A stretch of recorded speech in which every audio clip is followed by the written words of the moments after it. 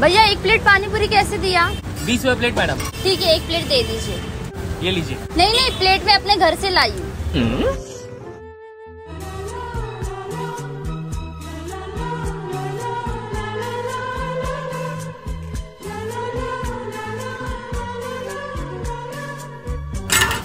अरे मैडम पैसे तो लेके जाओ।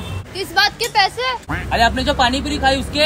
अरे पर आपने तो कहा एक प्लेट प्लेट तो मैं अपने घर से लाई थी।